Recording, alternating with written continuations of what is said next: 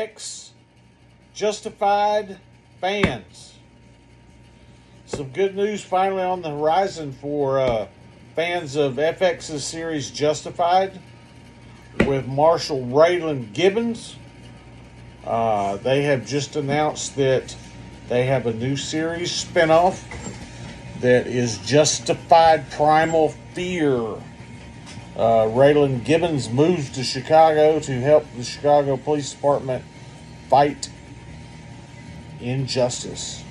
so, uh, well, I mean, most of the original cast, it looks like, is not back for this. Now, Timothy Olyphant, I'm probably saying that name wrong, the original Justified and Bad Man in uh, one of the Die Hard series movies, is back as Raylan Givens, which is cool.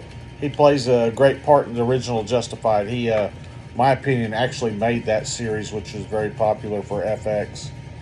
Uh, one interesting fact during shooting here in Chicago, go figure, Chicago, one of the safest cities in America, uh, they actually had a real gunfight between two cars break out, which halted production uh, for a short time. So, uh, sounds like Raylan Givens is needed in the real time Chicago crime fighting. Uh, but anyway, they have set a date of June, June, July, somewhere in there. Let me see if it says here.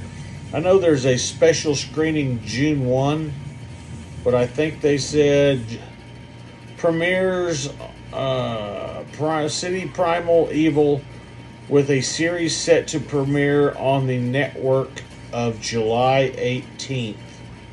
So, FX July 18th, be ready for Justified Primal Fear, uh, which should be good. I mean, that's if it's got a lot of the uh, uh, same writers behind it. They're saying here, uh, Quentin Quer- Quer- Quentin Quarantino uh, of uh, Pulp Fiction fame wanted to do this as a short miniseries movie, but I don't believe he's involved in this. Uh, the article said Timothy Olyphant, uh, while shooting a previous movie, was pitched the idea and loved it and called uh, someone up about doing this, so they got it all together. So, good news, Justified fans. You're just a few months away from seeing a new revised Justified.